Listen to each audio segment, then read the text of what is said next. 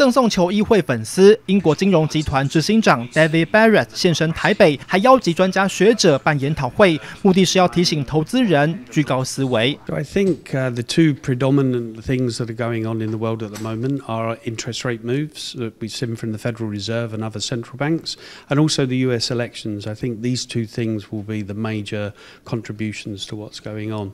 I think even by recent standards, we have an awful lot of event risk out there at the moment. There's a lot of things going on that can move the market substantially from what they're doing day to day.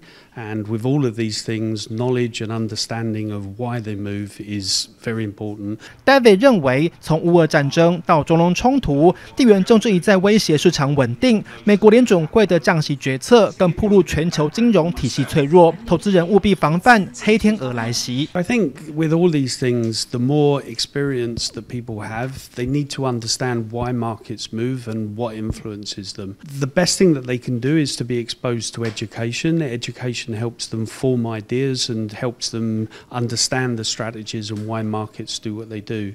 Knowledge is very important. It's a it's a big consideration for all traders, I think. David 强调，目前的市场风险已超越经济学范畴，投资人务必要自我提升，并参考专家意见，才能够趋吉避凶，抓住市场机遇。